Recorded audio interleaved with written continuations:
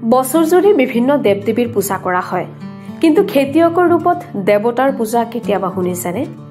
হয় বৰাক উপত্যকাৰ কাছাৰ জিলাৰ এনে ব্যতিক্ৰমী কৃষকক পূজা কৰি আদৰ্শ দাঙি ধৰিছে উধাৰবন্দৰ বিবেকানন্দ পাঠ মন্দিৰে।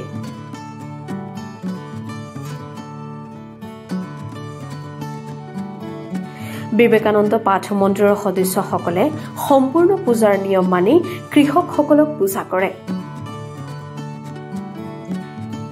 জিলাখনৰ জয়পুৰৰ শিৱস্থানত শাস্ত্ৰ পদ্ধতি অনুসৰি বাৰজন স্থানীয় কৃষকক পূজা কৰা হয়।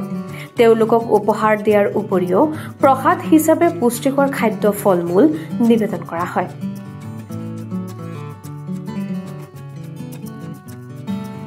কৃষক পূজাত সদস্যসকলে ধূপ ধনী দি পূজা কৰে। হোম যজ্ঞৰো আয়োজন কৰা হয়। কৃষক দেৱতাক বাঁহৰ ছাতি আৰু গামোচাৰে আদৰণি জনোৱা হয়।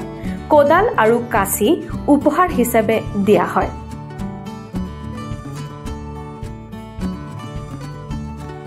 কৃষকসকলে কেতিয়াও নিজকে মানসিকভাৱে দুৰ্বল বুলি নাভাবিব বুলি বাৰ্তা প্ৰদান কৰে বিবেকানন্দ পাঠ মন্দিৰৰ সদস্যসকলে। পূজাৰ দিনটোৰ শ্লোগান আছিল ৰেছপেক্ট ফাৰ্মাৰ্ছ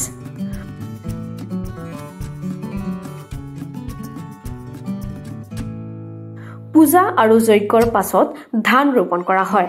সদস্যসকলে কৃষকৰ সৈতে যোগ দি পথাৰত ধানৰ পুলি ৰোপণ কৰে আৰু পথাৰখন সেউজীয়া হবলৈ প্ৰাৰ্থনা কৰে।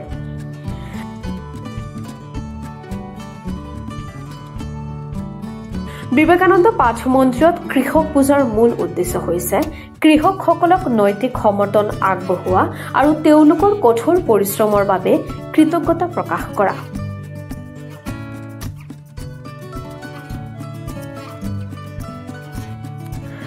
বিবেকানন্দ পাঠ মন্দিৰৰ সদস্যসকলে কয় কৃষক শ্ৰেণী নাথাকিলে খাদ্য নাপাব কোনেও।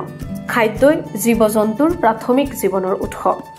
গতিকে সেই অৰ্থত কৃষকসকল সমাজৰ আটাইতকৈ গুৰুত্বপূৰ্ণ মানুহ।